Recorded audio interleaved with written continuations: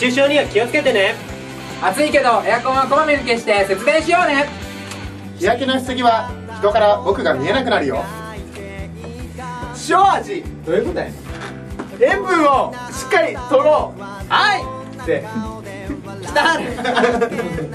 Z かちゃん来たる。8月の18日、はい。ジェズがね渋谷のスペシャル TV ズダイナーでライブします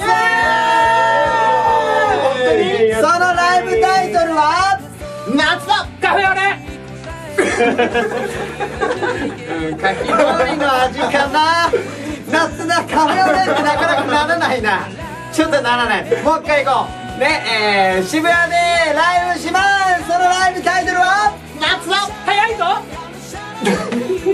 これ何が早いのかな？夏が来たのが早いな。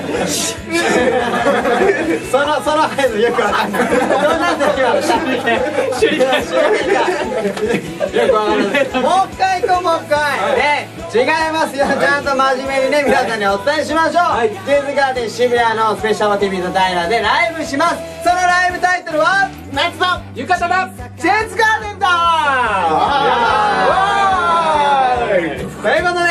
宙からお届けします宇宙からお届けしますはい、あのもしかするとね浴衣で来ていただくとねあのなんかいいことがあるかもしれません浴衣で浴衣で来るとなんかいいことがあるかもしれません僕たちは僕たちはジェンズガーデン何いや何も浴衣なんですかそれは知りません知らないはいわかんないそれは来てからのお楽しみ髪切ってないですよ髪切りたいですはい